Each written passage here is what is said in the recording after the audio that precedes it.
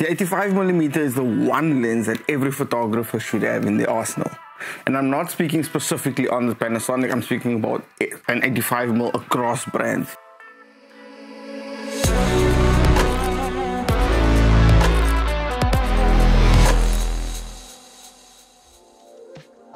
When this lens came out initially, it caused a lot of stir in the photography and videographer community because an 85mm at the price point that it came out and the quality and the build quality of this lens was absolutely brilliant. It's ideal for portrait photography and not only portrait photography, there's multiple other genres of photography that you can actually use this lens for.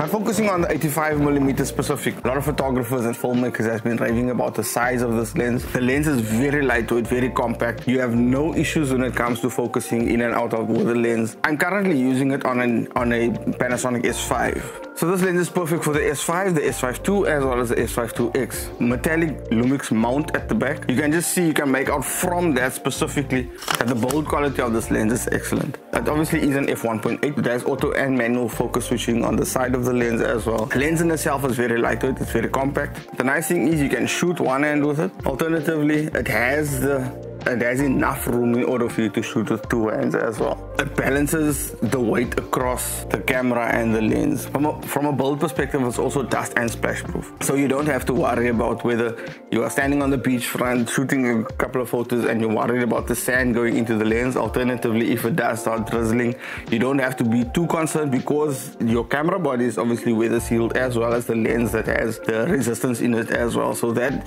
eliminates that fear that you would have when it comes to either dust or water coming onto the lens. It has a 67 millimeter diameter at the front, tightens quite easily on there. The Lumix 85 millimeter produces sharp images. It creates a very nice bokeh. Not everyone might be a fan of the bokeh of the 85 millimeter, especially with the f1.8 aperture that the lens sports. The linear focus motor also operates very silent. As soon as you press your back button focus or your half shutter, you hardly even hear the focus motor of the lens. From a design perspective as well, that has an autofocus and manual focus switch along the side. That does sound a little bit plasticky, that has that clicking sound. It has a minimum focus distance of about 2.8, 2.62 feet. Now the 85mm is an ideal focal length when it comes to photography. For videography, a, a lot of filmmakers don't necessarily use the 85mm that much but there is instances where you want to get a specific shot, a specific look, then the 85mm still works. When it comes to filmmaking, there's no image stabilization within the lens itself. It uses the IBIS of the camera in order for you to get the stability of the shot. So when it comes to handheld videography, handheld filmmaking, I wouldn't recommend you actually use the 85 unless you have a very steady shot. The camera body of the S5, the S5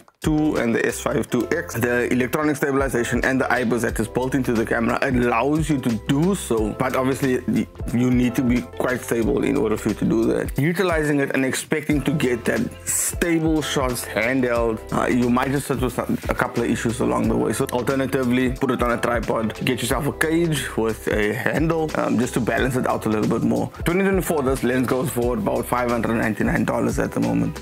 Um, I would definitely say it is a, it's a very good investment to make. But with this one, I've been working with this now for a while. I have this camera now for over two years, and the 85mm is one of my go-to lenses, especially when it comes to photography, especially when it comes to natural light photography. I do video with it as well, but the video that I do with it, I usually put it on a on a tripod, and once on the tripod, then I have my ND filter on it. I get that stable shots and that stable footage. If you are if you are a seasoned photographer seasoned videographer, I would definitely say getting an 85mm and a Lumix 85mm specifically if you are a Lumix or a Panasonic shooter the Lumix 85mm is definitely a brilliant investment to make when it comes to photography, when it comes to filmmaking.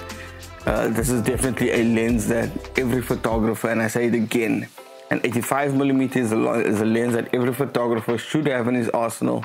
And for the Panasonic shooters, the 85mm f1.8 is a lens that you definitely need to get yourself.